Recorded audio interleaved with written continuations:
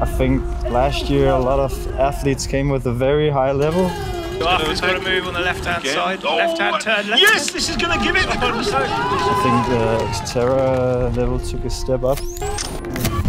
And I tried to do that also, but uh, yeah, it was it was enough for a podium at the World Champs and also the first World Cup circuit. I finished third.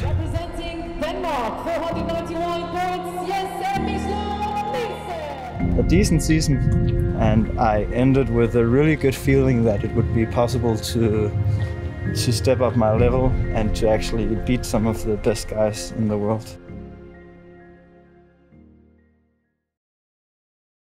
Yeah, so we are here in Alsace, my new home. It's uh, moved here last year at the end of the season to try something new, to move with my girlfriend, Selene. Um, and it's so far it's been really great. Yeah. And um, yeah, today we're doing one of my favorite activities here. Uh, aller à la boulangerie. yeah. Another big change is just the mountains here. Like in Denmark, we, we have good nature, but we don't have the tremendous mountain range like we have here, and that's just.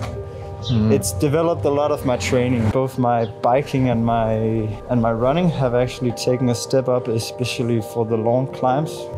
I thought I was effective in trail running, but now I realized after uh, two months here that I've like my heart rate is so much more controlled now when I run uphill, mm. where before it was like just like.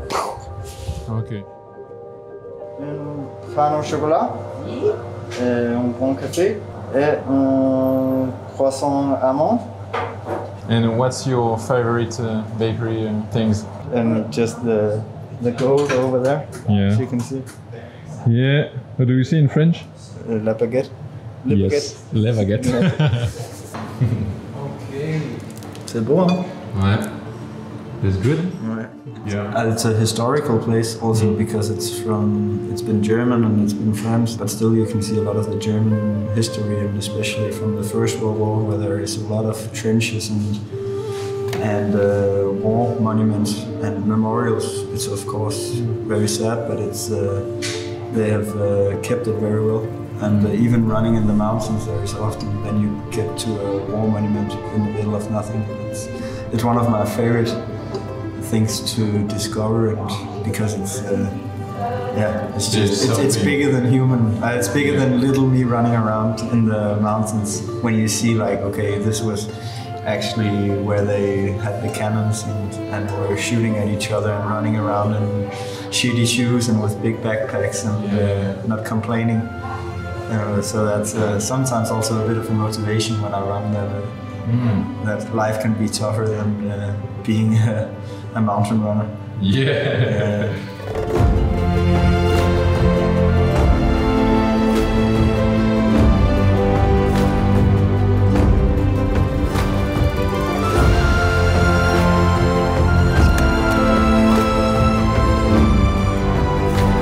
last session here in Alsace before traveling. I think my main goal is to win some of the races. I don't know if that's the right word, but I really want to be brilliant winning races. Like I want to really race good races against all the best guys. Arthur, Felix, Ruben, uh, I have to be there, and I want to beat them.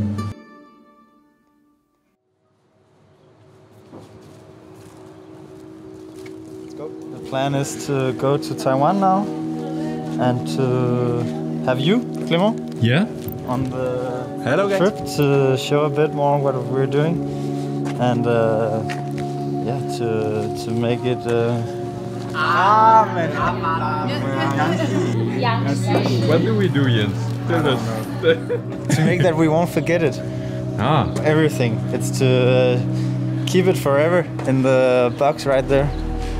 And yes. uh, I think often uh, in our racing and traveling, we have so much to show that, uh, and often it's just a, a number at the end, which position we ended in the race, which is actually the the outcome of all of the travel. But I am stoked to be able to show a lot more in this travel.